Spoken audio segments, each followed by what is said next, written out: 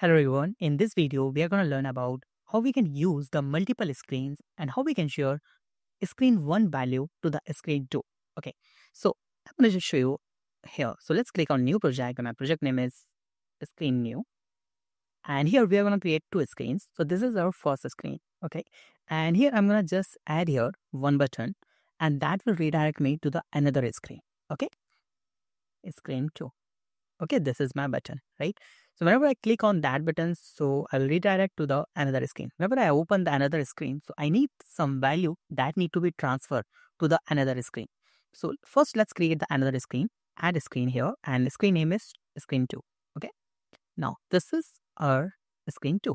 I'm going to use here the label and I'm going to display the screen 1 value to the screen 2 here. Okay. So what I'm going to do here, I'm going to just make it 20 or something like this okay? Let's go to the screen one again screen one. Here we are now. So go to the block section. And what we need to do here whenever i click on the screen button one so i need to open the another screen. Like so i'm gonna just open the another screen. So what i'll do here click on anywhere on the screen like this and just type from your keyboard open another screen like this okay? And the screen name is i just need to say here the screen name is screen 2 okay?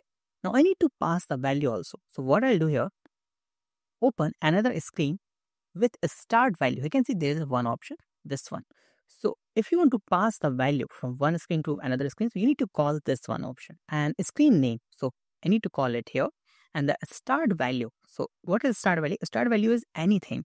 You can pass any text or you can pass any variable value from one screen to another screen. You want to pass some, uh, you know, the score also.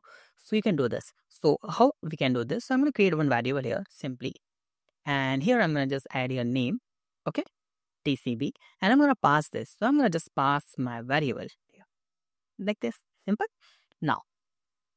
So whenever someone open that screen 2, screen 1 okay? And whenever they click on that button so the screen 2 will open. But we need to display a screen 1 value in this label. So for that go to the block and just use here just type here get value okay? Get a start value. You can see the get a start value. So click on screen 2 and you can see the van screen 2 initialize then I need to use a label and set label dot text this one. And just call it here that's it. Now let me just play this, how this will work. A companion. I'm going to just hit this. But before this, I think I should go to the screen one first. So let's wait some seconds. This will open another screen. So let me just go to the screen one. Here, that. So we can, this is our first screen. So go to screen two.